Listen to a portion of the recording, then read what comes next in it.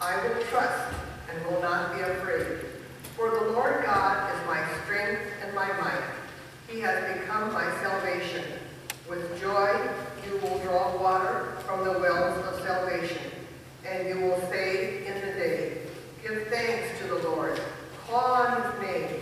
Make known his deeds among the nations. Proclaim that his name is exalted. Sing praises to the Lord, for he has been gloriously let this be known in all the earth. Shout aloud and sing for joy, O royal Zion! for great in your midst is the Holy One of Israel, the word of the Lord. Amen.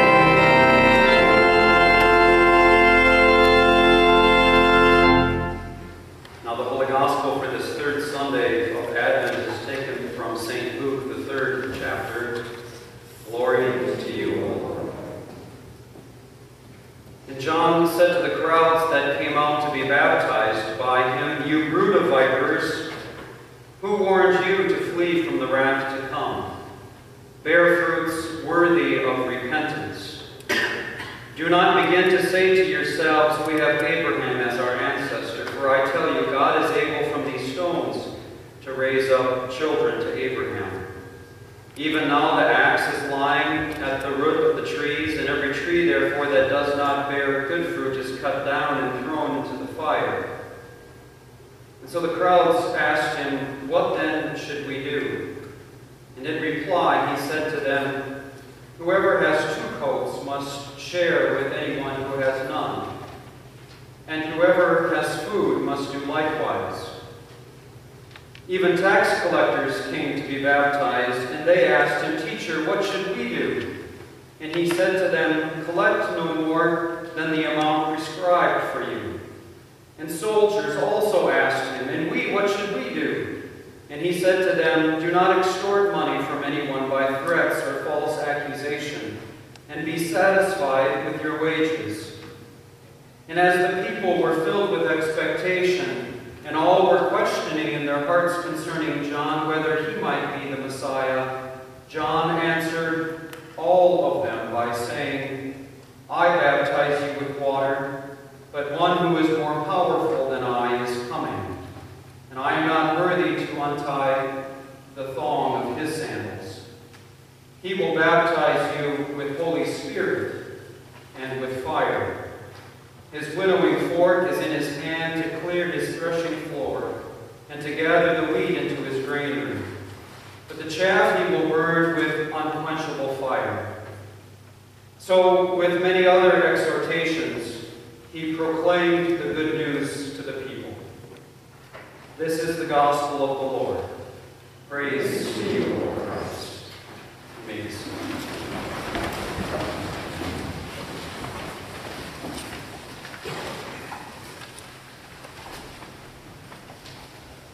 I was reading an article in um, the paper this past week about yoga.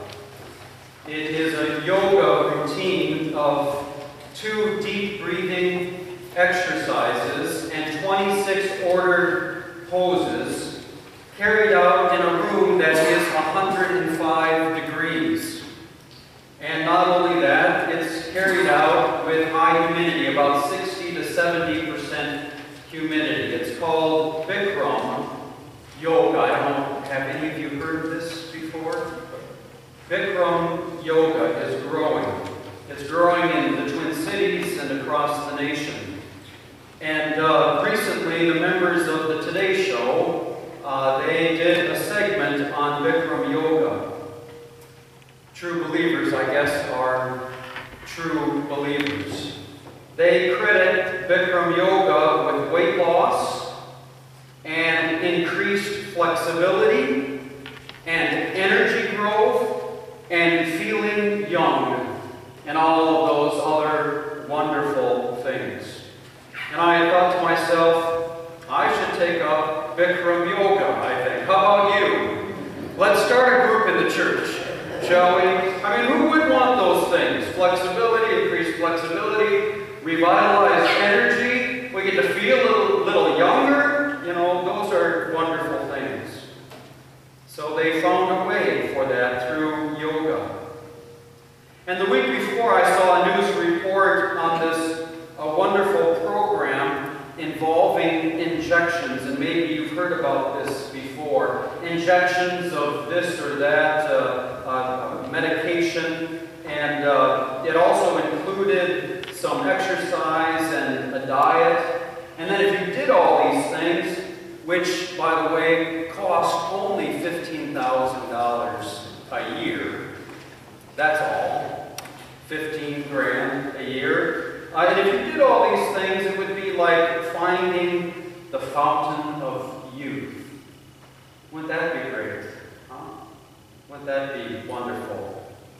There's this one and that one's miracle diet program. You know, you eat this way and watch the pounds fall off magically, or, or take a pill and it reduces the size of, you know, your appetite just miraculously and uh, you lose all this weight and, and you won't be ashamed to go out of the house anymore as, as if it ever occurred to you to be ashamed to go out of your house in the first place. Then there's Dr. Phil. How many of you watch Dr. Phil in the afternoon? Well, none of you? Well, you know, I'm not talking about uh, Dr. Phil Moss either, by the way. I'm talking about, I don't even know what Dr. Phil's last name is. It's is Dr. Phil, right? He's got his program, you know, with uh, that daily program designed to solve all of your relationship problems and psychological hang-ups, uh, you know, and if you don't listen to Dr. Phil, then I guess you've got Dr. Oz, right? And, and if you don't have Dr. Oz, then you've got Martha Stewart, and you've got uh, all of the people on HGTV that will teach you how to get your house, you know, in good order and make everything beautiful and, and your life, of course, right along. Then there's Susie Orman who can help you figure out your finances, all those people who are on TV in the wee small hours of the morning with those exercise gizmos and those money making schemes and those wonder drugs that all you have to do is buy this product or that product and life will be right for you. Life will be good for you. It'll be terrific. Which is not to mention all those products and advertisements, all those things that you just have to have. And once you got them, then your life will be happy and you'll be healthy and you'll be beautiful and handsome and wealthy and look great and you'll feel marvelously and you'll dance gracefully. All of these things around us. Nor is it to mention the folks whose faces are so nauseatingly familiar to us. The ones who promise that if you elect them in this next uh, election, then this nation and this world will finally be sane again. And that society would work right, the sun will shine on America in particular. I'm the man or I'm the woman to get the job done right. You hear this all the time. I'll make things right and you can count on me. So you think of them and you think of all of these things that surround us in our daily lives, and you realize why old John the Baptizer was such an oddball that we read about in the gospel lesson. I mean, it wasn't just his clothes or his diet or his in your face preaching style. It was that John the Baptist started out by saying, I am not the Messiah. You're looking for a Savior, but I'm not the Savior. You're looking for one, it ain't me. I can't promise you happiness. I can't promise that your life will be wonderful and that you'll be beautiful or that you'll be younger. I can't give you everything that you want in your life. I'm just the warm-up act screaming myself blue in the face, trying to get you to wake up to what God is up to right here and right now in your life. This is John the Baptist. I think in a world filled to the brim with would-be messiahs and wonder products and miracle cures, John was very straightforward in saying he wasn't it. He was not the man. He was not the miracle worker. He was not the answer to all of life's problems, and in particular, your problems in life. Hats off to John for knowing who he was and who he wasn't. Would-be messiahs around us are a dime a dozen. Messiah wannabes are quick to push themselves forward. And so every day we are bombarded by voices calling out for our attention, voices that make extravagant promises about all they will do for us. And we are tempted to believe in these things. We are tempted, but they cannot fulfill the things that they promise to do. You see, John the Baptizer doesn't do any of this. He's an ironic character. He preaches loudly and boldly, and throngs of people come out to hear him. But once he has their attention, he tells them that he isn't the one that they're looking for. He isn't it. And that his sole purpose for being is to point them to the one who is the Messiah, to direct them to the Savior, their Savior, their answer, who is Jesus, the one who was and is the answer, the one and only Messiah. All these folks making extravagant promises, they can't deliver. They can't deliver what they promise. There's nothing wrong with them. Bikram, yoga certainly might make you feel better. Let's try it, shall we? Let's just try it together and see what might happen. I've got nothing against yoga. It might even make you feel healthier, and who wouldn't want to be healthier? Dr. Phil seems like a sensible guy, and I'm sure there are healthy dietary plans and reputable ways to make money around. And there is nothing wrong with enjoying the things that you have. I enjoy things that I have. I enjoy driving my car. I enjoy watching my television. And I have a nice TV. There's nothing wrong with enjoying these things. But they can't make life right. And if you think they can, then you are seriously mistaken. You can't look to your possessions to make your life right. You can't look to exercise plans or yoga to make your life right. You can't even look to John the Baptist to make your life right. There is only one thing that will ever make your life right. And that is the one for whom John the Baptist proclaims Jesus the Messiah. Nothing out there except the only Messiah there has ever been Jesus Christ, Son of Mary and Joseph, and Son of God. He is the one who came and lived and died for us that we might live for him now. Live lives marked by love and forgiveness. Live lives marked with generosity and cheerfulness and service and sacrifice. So in the end, by giving it all up, we get it all back and then some. This is Jesus, the Messiah, the one that we follow. So Christmas is the season of moving from cruelty. And, and don't we see a lot of cruelty in the world today?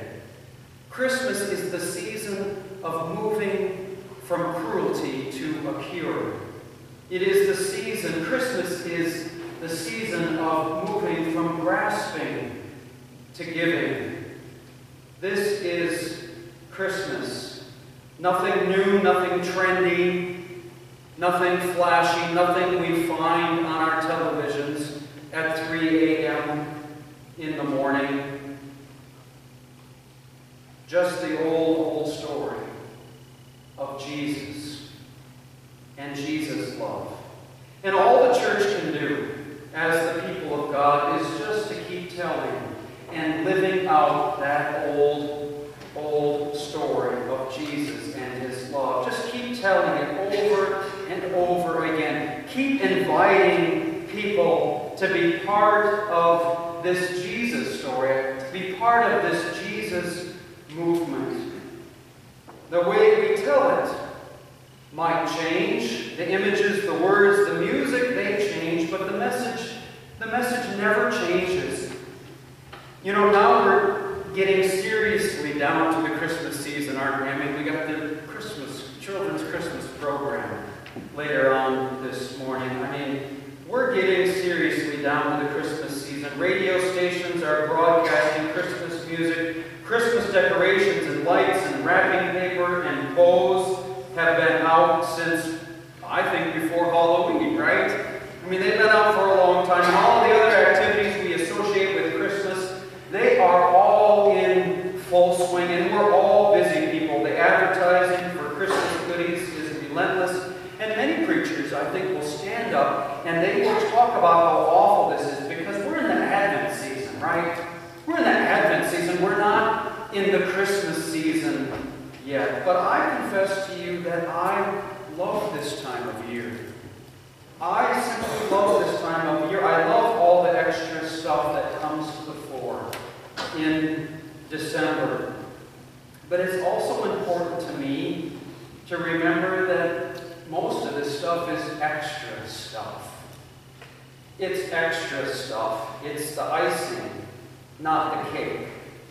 That it's not the heart of Christmas. Because Christmas is about Jesus.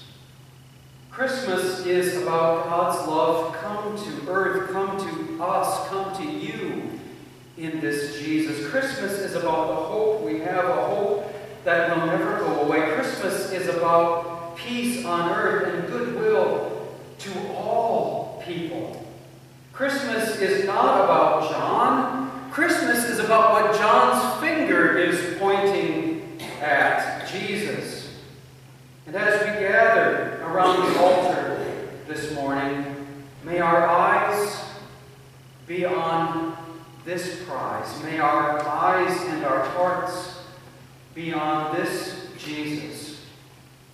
John was right. He was not and is not the Messiah. Jesus was. Jesus is. And Jesus will be. Amen. Let's stand together as we confess our faith.